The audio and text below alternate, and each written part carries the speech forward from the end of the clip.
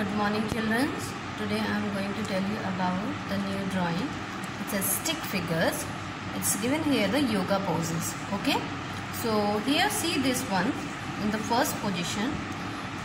How to draw the drawing. तो इसके लिए हमें क्या करना है first of all we have to जैसे कि यहाँ पर जो फ़र्स्ट फिगर दे रखी है इस फ़र्स्ट फिगर के यहाँ पे कुछ स्टेप्स दे रखे हैं कि हमें ये स्टेप्स किस तरह से ड्रॉ करने हैं तो सबसे पहले यहाँ पर इसके लिए एक सर्कल दे रखा है फिर उसके बाद में एक लंबी स्टिक दे रखी है। देन इन्होंने जो लेग्स हैं, उसको शो करने के लिए फोल्ड कर दिया है स्टिक को। Then they have to draw two hands like with the help of a stick okay तो we have to draw the all figure in the same way okay तो I am just going to start the drawing तो first of all हमें जितने भी ये जो figures हैं, इनको ड्रॉ करना है। तो सबसे पहले, हम सबसे पहला ही फिगर ड्रॉ करेंगे। तो उसके लिए हमें क्या करना है? सबसे पहले हम पहला फिगर ड्रॉ करने के लिए एक ओवल शेप बनाएँगे। Then we have to take straight stick. Then afterwards हमें यहाँ पर लेग्स को डिफाइन करने के लिए डिपिक करने के लिए दो कर्व शेप बनाने हैं। For the leg position only okay then we have to draw the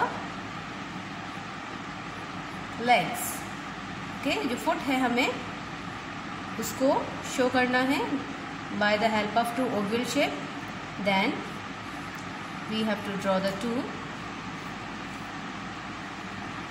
lines for the hands then two oval shape small oval shape for the head okay इस तरह से हमें सारे जितने भी इनके फिगर्स हैं, उनको ड्रॉ करना है, okay? Now I am just going to draw the second number figure see here for the second number figure what we have to do second number figure के लिए हम सबसे पहले एक ओवल शेप डायगनली ड्रॉ करेंगे, ठीक है? Diagonally draw करने के बाद में हम एक लॉन्ग आर्च बनाएँगे, जो कि हमारा इसको ओवरलैप करता हुआ नीचे की तरफ़ जाएगा। ओके उसके बाद इस आर्च को हम इस ओवल शेप से इस तरह से विद अ लाइन जोड़ देंगे। ओके यहाँ पर हम एक ओवल शेप हैंड को शो करने के लिए दिखाएँगे। उसके बाद हम इस आर्च को नीचे की तरफ़ लेकर जाएँगे। यहाँ पर हम एक फुट शो कर देंगे। ओके देन एक फुट शो करने के लिए हम यहाँ से एक लाइन ड्रॉ करेंगे। इस तरह से। ये दोनों लाइन पैरलर्स आनी चाहिए। और यहाँ पर हम इसको इस तरह से कनेक्ट कर देंगे। ओके उसके बाद यहाँ से हम एक लाइन दूसरे हैंड के लिए ड्रॉ करेंगे। और यहाँ से इसे ओवल शेप के साथ में कनेक्ट कर देंगे। ओके, इस तरह से हमारा ये दूसरा फिगर बन गया। अब हम तीसरा फिगर बनाएँगे। तीसरा जो योगा पोजीशन है, हम उसको बनाएँगे। उसके लिए हम क्या करेंगे? सबसे पहले हम एक ओवल शेप बनाएँगे इस तरह से। देन इस ओवल शेप को हम इस तरह से डायगनली कर्व शेप में लेकर जाएँगे। इसको हम नीचे की तरफ़ रोटेट करते हुए स्ट्रेट लेके जाएँगे। और यहाँ पर हम इसका एक फुट बना देंगे ठीक ऐसे ही एक लेग हम ऊपर की तरफ़ लेके जाएँगे और इसको हम एक फुट और ड्रॉ कर देंगे अब इसका जो हैंड है, वो हम यहाँ से उठाएँगे और इन दोनों हैंड्स को हैंड्स और लेग को आपस में ओवरलैप करते हुए साथ में कनेक्ट कर देंगे। ठीक ऐसे ही इसका जो दूसरा वाला पार्ट है उसको भी हम इस तरह से स्ट्रेट लेके जाएँगे और यहाँ पर हम एक इस तरह से ये अटैच कर देंगे। ठीक है? अब हम बताते हैं नेक्स्ट ड्राइंग नेक्स्ट ड्राइंग बनाने के लिए अब हम क्या करेंगे? सबसे पहले हम एक ओवल शेप बनाएँगे। इसे हम ठीक इसके नीचे बना देंगे। तो कितना स्पेस यहाँ पर है नहीं?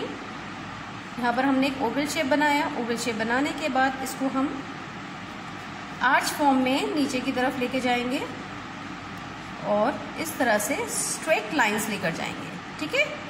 अब इसको हम टू लाइंस में डिवाइड कर देंगे। We have to divide in two lines और इस तरह से, जैसे कि हमारे पैर मुड़े हुए हों, इस तरीके से हमें इसके जो फुट हैं, वो डिज़ाइन करने हैं। सबसे पहले हमने पहला फुट डिज़ाइन किया, उसके बाद हम दूसरा फुट डिज़ाइन करेंगे। ठीक, इसी फॉर्म में हमें दोनों फुट्स को डिज़ाइन करना है like it is in a folding position okay then उसके बाद हम एक स्ट्रेट लाइन बनाएँगे।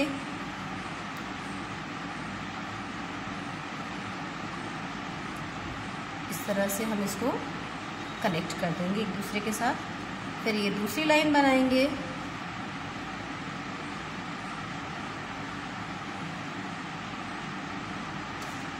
और इसको इस तरीके से जोड़ देंगे तो हमारी जितनी भी योगा पोजीशंस हैं, वो सारी रेडी हो चुकी हैं। अब हमें क्या करना है? हमारी जितने भी जो योगा पोजीशंस हैं, उनको हमें स्केच पेन से ड्रॉ करना है। You can take a any sketch pen it's your choice जो भी स्केच पेन्स आपके पास हों, जो भी कलर्स आपके पास हों, आप वो कलर्स इसको बनाने के लिए यूज़ कर सकते हैं। It's your choice whatever colour do you want you can draw the with the your choice sketch pen like in the first position I am drawing by it. The red sketch pen okay? It is a your choice.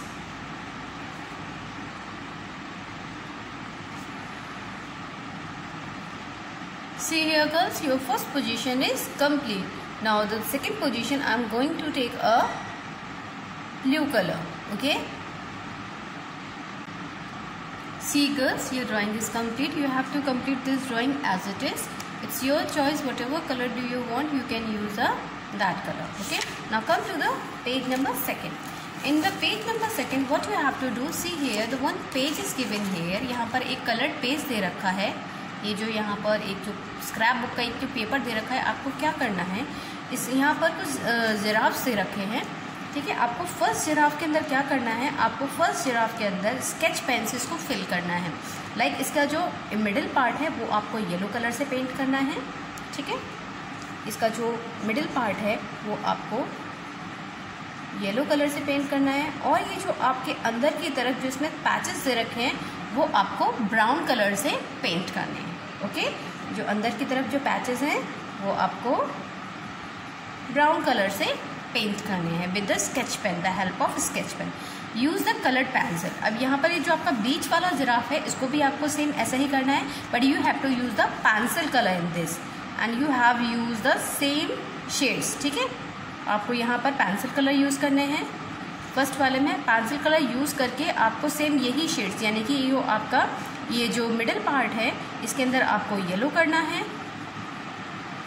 और ये जो आपका patches वाला part है, इसके अंदर आपको brown colour करना है। Okay now come to the third giraffe third giraffe के अंदर आपको क्या करना है? थर्ड जिराफ में आपको ये जो पेज यहाँ पर दे रखा है स्क्रैप बुक स्क्रैप बुक का, उसमें आपको क्या करना है? सबसे पहले आपको एक लंबी स्ट्रिप काटनी है। वो इसके ऊपर आप चिपका देंगे येलो कलर की। उसके बाद में इस तरह से आपको सर्कल शेप्स काटनी है इसके अंदर से। सर्कल शेप्स कट करने के बाद में आप इसके ऊपर ऐसे टीयर कर करके पेजेस को उसके ऊपर चिपका देंगे। Just like a collage you have to make okay ये आपको तीनों जिराफ जो है, वो डिफरेंट डिफरेंट तरीके से कंप्लीट करने हैं। The first one you have to complete with the sketch pen the second one you have to complete with the pencil colours and third one you have to complete with this paper what it every one this work you have to complete in your homework okay, girls, on next turn, i will send the new drawing. By the time, you have to complete your drawing. God bless you. Bye bye